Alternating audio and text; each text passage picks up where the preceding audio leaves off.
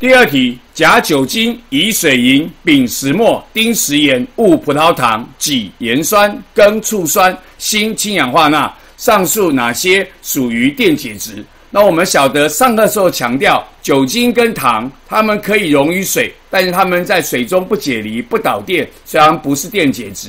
水银呢是汞，是元素；石墨是碳，也是元素，它都不是化合物，所以它也不会电解质。我们上课的时候说，电解质包含了酸、碱、盐。那么盐酸、醋酸是酸，氢氧化钠是碱，食盐是盐，所以它们都是电解质。所以丁、己、跟锌是电解质。所以第二题问我们说，上述哪些属于电解质？我们答案选的是 A：丁、己、跟锌。